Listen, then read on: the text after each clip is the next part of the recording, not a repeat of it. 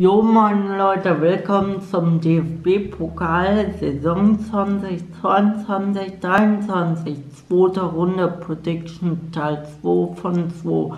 Los geht's heute um 18 Uhr. Hannover 96 unterliegt Borussia Dortmund 3 zu 6. Dann der SV Sandhausen unterliegt Karlsruhe 10 0 zu 1 nach Verlängerung. Ebenfalls nach Verlängerung gewinnt SC Freiburg gegen FC St. Pauli 2 zu 0. Und auch nach Verlängerung gewinnt der SC Paderborn 07 zu Hause gegen SV Werder Bremen 3 zu 2.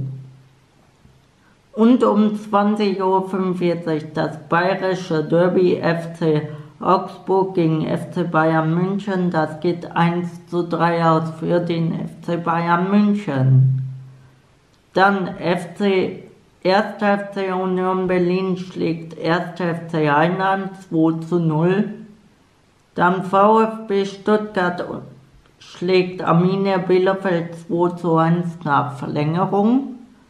Und SSV Jan Regensburg unterliegt Fortuna Sitz Düsseldorf 1 zu 4.